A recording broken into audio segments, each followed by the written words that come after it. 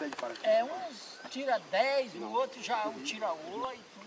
De 8 eles já não gostam muito. Se vê que eles dançam uma dança assim, eles já não gostam. É todo mundo, se pudesse, queria todo mundo ganhar 10, né? Ah, o 10 é um número muito importante. Vocês que estão fotografando aqui, ó. Então vamos lá, vai,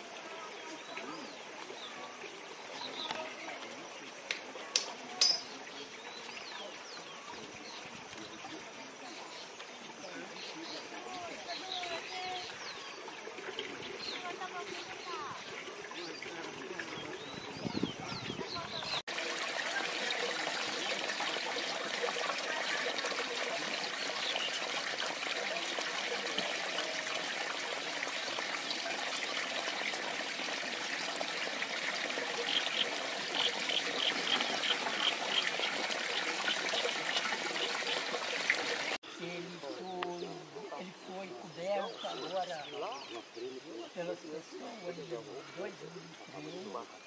A lenda conta, não sei se é lenda, não sei se é história verdadeira.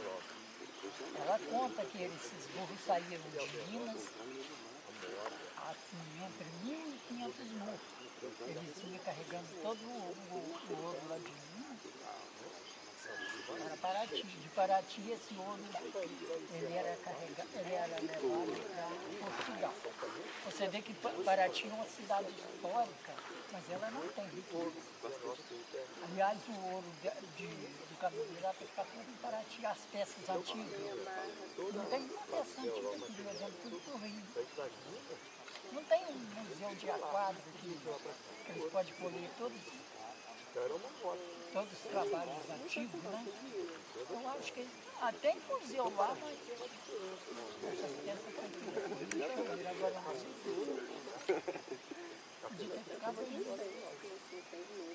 Aqui nós encontramos um cadeado, um cadeado antigo desse tamanho, uma chave bonita. Aliás, eu encontrei dinheiro antigo, o dinheiro antigo era verde. Eu encontrei quatro pratas azul, ó, quatro pratas verde e uma prata azul no meio.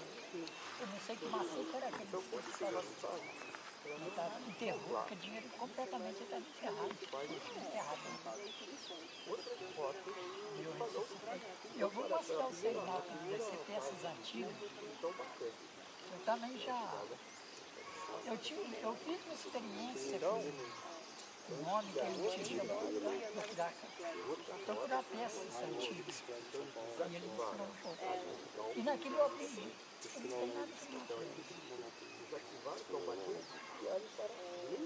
Esse homem veio aqui para procurar?